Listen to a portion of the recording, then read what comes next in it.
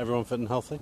Yeah, yeah. The only concern really was Jerry Collins. Uh, took a, a, nasty whack against Glasgow, but he's recovered, and um, we are able to select from a full strength squad. Yeah.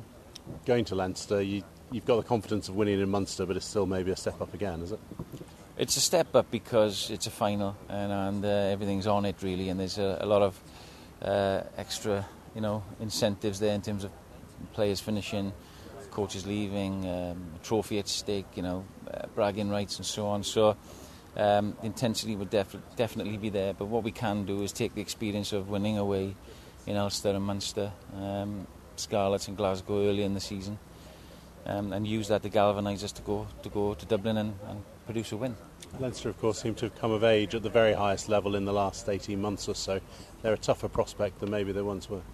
Yeah, they are. It's, it's obviously taken a lot longer than 18 months. You've just seen the fruits of it in the last two years.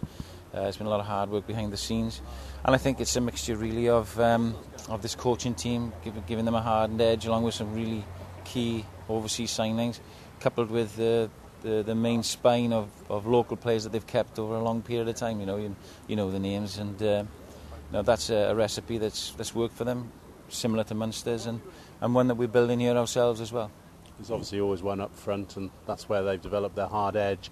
Uh, you've got a pack, third international level that can go over there and, and take them on.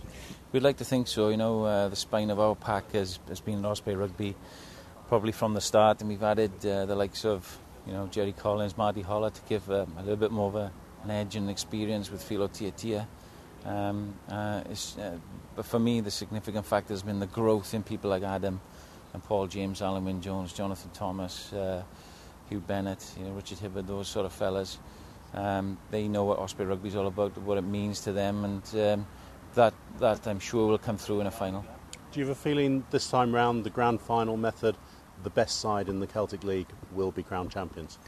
Yeah, I think so. I think the playoffs uh, have been a real success this year. You know, uh, it's the right fixture for the final.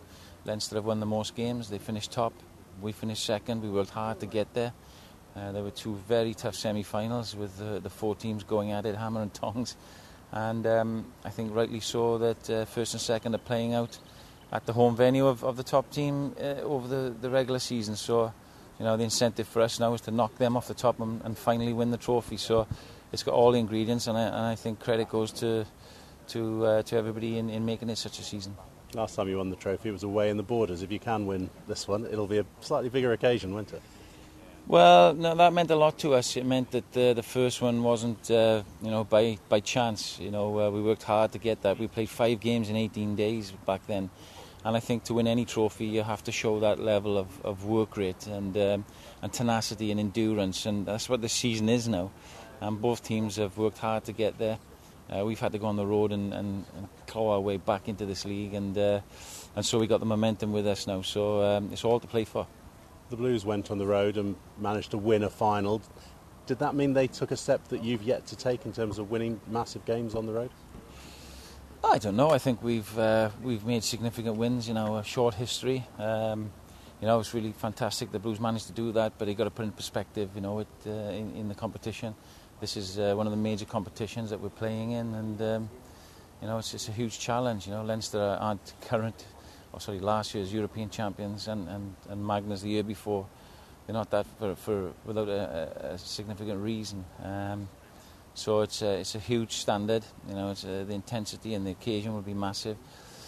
But then again, you know, we, have had a lot of those as well, and uh, we're regularly beating the top sides in Europe now, both us and the Blues and um, that can only be good for Welsh rugby. Because in terms of Biarritz, it was very close, didn't quite win. There are a few other examples that can be named. It would be a really big statement for the region if you can go there and win. It would, be, it would remove a lot of the questions along those lines. Oh, it would. Look, in a, in a major competition, you know, we went to Twickenham and played uh, Leicester a few years ago in EDF and put in a huge performance. Um, you know, that, that, that's the sort of thing we're looking towards. We've got experience of that. Uh, and, and, you're right, coming close, even in Clermont this year, uh, it was close, and, and Perpignan last year was, was extremely close. Two games perhaps we could have won, um, but it's getting over that line to, to show that you know we can actually achieve, and um, you know we've got that belief now that we can go and do that.